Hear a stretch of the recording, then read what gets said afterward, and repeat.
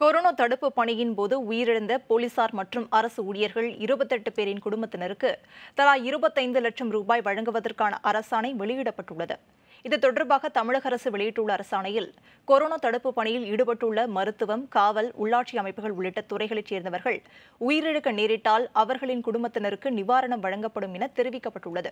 இதுவரை உயிரிழந்தவர்களின் பெயர் விவரங்களை அரசு துறை தலைவர்கள் மற்றும் மாவட்ட ஆட்சியர்கள் கொடுத்திருப்பதாகவும் அவற்றை அரசுக்கு வருவாய் நிர்வாக ஆணையர் அனுப்பி வைத்திருப்பதாகவும் அதில் குறிப்பிடப்பட்டுள்ளது.